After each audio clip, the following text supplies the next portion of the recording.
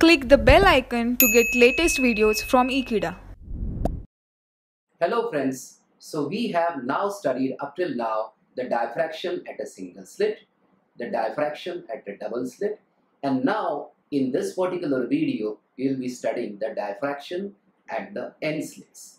This is also one can say diffraction and N slits is also referred to as so this is also known as diffraction at a diffraction grating. So let us see how is it that we are going to treat the diffraction at N slits or in a diffraction grating.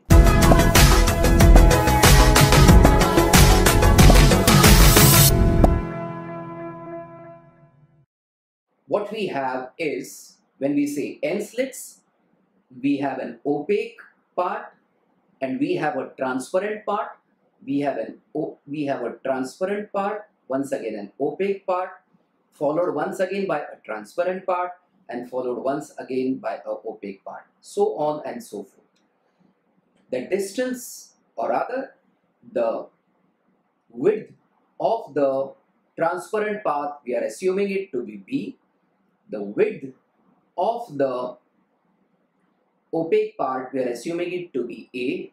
So D is equal to A plus B. So this is our first assumption. At the same time, now we are assuming that let us there is a monochromatic light that is falling on this plane transmission grating or on this N slits. And when it falls on this N slits, from the theory of a single slit, you know that there will be a diffraction that will be occurring. Here we have not shown the individual diffractions, but rather we have shown only a single representative diffraction by this wave over here. Similarly, for the slit over here or for the transparent part over here, which is adjacent to the slit, we have shown a representative diffraction over here. So on and so forth over here. Now, when diffraction occurs, let us now focus only on the diffraction at a single slit. When this wave comes over here, when the plane wave comes over here, there are two things which may happen. First of all, it may get, it may pass unhindered or it may get diffracted. All such collections of unhindered waves will form an intensity pattern at the center that is at P0. You know that if a plane wave strikes any single slit, it will actually be considered or rather it will actually be transformed into various Huygens wave sources at this point and each wave source will actually generate its own wave. Consider one such wave that is diffracted at an angle theta from the undeviated wave. Now when this wave comes in contact with the lens, it will actually get focused at a point P1. Similarly, there are other waves that are being generated over here due to the Huygens wavelets and we are considering a collection of all those wavelets that are getting diffracted at a angle theta. Remember, we are focusing only on the single slit and a collection of all these waves will actually fall at P1 or rather it will be focused at the point P1 and depending upon the phase difference we will either have a maxima or a minima at the point P1. We know from the single slit theory that the collective amplitude of all the waves that are diffracted by a angle theta from a single slit is given by the factor amplitude A is equal to A into sine of beta upon beta where beta is the phase difference and then where beta is equal to pi into b into sine theta upon lambda. Let us call this equation as 1. Now let us move to the second slit. we can repeat the same argument for the second slit and you can say that the collective amplitude of all these waves emerging from here and getting focused at the point P1 is once again given by the factor A is equal to A sine beta upon beta. So on and so forth, the same thing will happen at this slit also.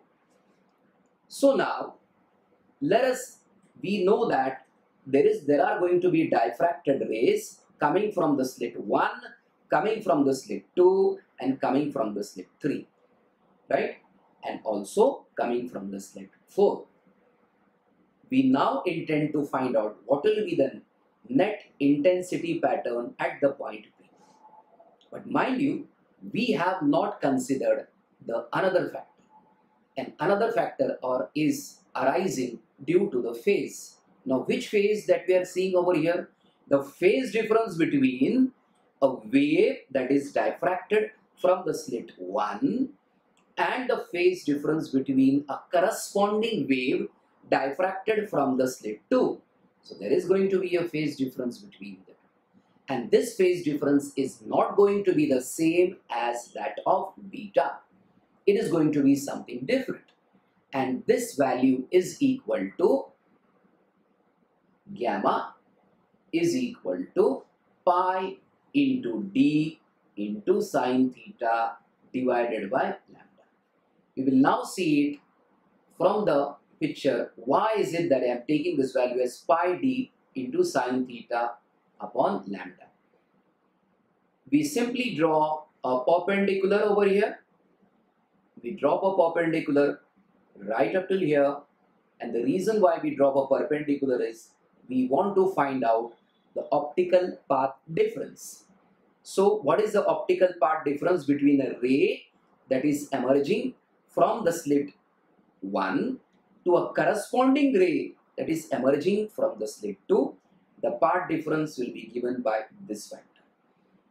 From geometry, since this angle is theta, this angle 2 turns out to be theta. And you can see for yourself that sine theta will actually be equal to this value. Will actually be equal to this value, opposite side, divided by the hypotenuse that is nothing but d. You will write it down. So in this case you will have sine theta is actually equal to the opposite side which is going to be the optical path difference divided by the value d. And hence your optical path difference is equal to your optical path difference will turn out to be d into sine theta which in terms of phase it will be equal to and multiply this by 2 pi upon lambda and which actually turns out to be gamma is equal to pi d into sine theta upon lambda. So from here we can also say that your 2 gamma is actually equal to 2 into pi into d into sine theta divided by lambda. so what is the phase difference between this, the total thing? The phase difference is given by a factor 2 into gamma. So that's it. So from here, from this discussion, we have obtained the phase difference between the corresponding rays that are actually being emitted from a single slit that turns out to be beta and once again the phase difference between the corresponding rays from, from the consecutive slits which are equal to 2 gamma which is equal to 2 pi d into sine theta upon lambda. So my entire problem students now actually boils down to only two concepts. I know that every single slit is going to give me a wave that is corresponding to an amplitude of A into sine beta upon beta and this wave is actually being emerging from each and every slit and the phase difference between n such waves that is being liberated or emitted from n such slits is equal to 2 gamma. So that is basically the phase difference between two such consecutive waves given by the corresponding wavelets, right, from two side slits that are actually placed side by side.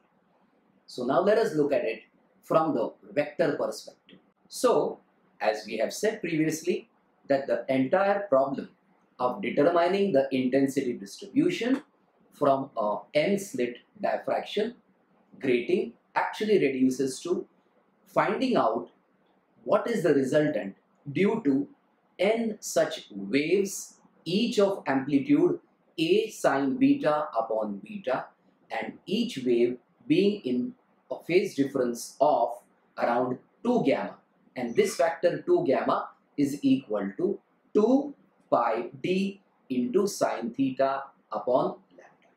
So, how do we tackle this particular problem? From the vector method, we can prove the fact that if at all there are n such vectors and each of amplitude a and with a phase difference of phi, then the resultant of all these vectors is given by the following parameter. So first of all, we will draw the vectors, draw the resultant, resolve R, find out the final value. The second thing, so what, how we are going to proceed is, we are actually going to draw each vector. This will be a very general case. Each of amplitude, let us say A, and each with a phase difference of around phi. We are going to resolve the vector R and going to find out its magnitude. Let us see how we do it. So, let us consider the vector A of amplitude A, another vector of amplitude A and making an angle out over here that is given by phi. So phi becomes the phase difference between this wave and this wave. Once again, so on and so forth, I go on increasing these values over here and find out the phase difference phi. And there are various elements, but for simplicity, we are taking only three. Here, this is going to be your resultant R. So, the magnitude of the resultant vector is given by A sine of n phi by 2 into sine of phi by 2. Let us now apply this particular result to the present case of diffraction due to n slits. So what is the value of A over here? In the case of the single slit, the value of A is actually turning out to be A into sine of beta upon beta. So this was the constant phase difference between the various wavelets that were being diffracted from the n slits. And what is the value of this component over here? The value of small n is actually equal to capital N. And as I told you, the value of the phase difference between the diffracted rays from, from every consecutive slits is equal to 2 gamma. So now let us write that down over here. So this factor will now turn to be sine of n into 2 gamma upon 2 this divided by sine of 2 gamma divided by 2. Hence, the resultant will actually be equal to A into sine of beta upon beta into sine of n into gamma this divided by sine of gamma. So this becomes your this becomes your resultant amplitude and as we know that the intensity is the square of the amplitude. Therefore, I will take the square of this factor and write this down as I is equal to R square is equal to E square into sine beta upon beta the whole square into sine of n gamma this divided by sine of gamma the whole square. And, and this is an expression for the intensity pattern in a n-slit diffraction. Sincere thanks students for watching this particular video. Stay tuned to Ekeeda and do subscribe to our channel Ekeeda. Thanks a lot.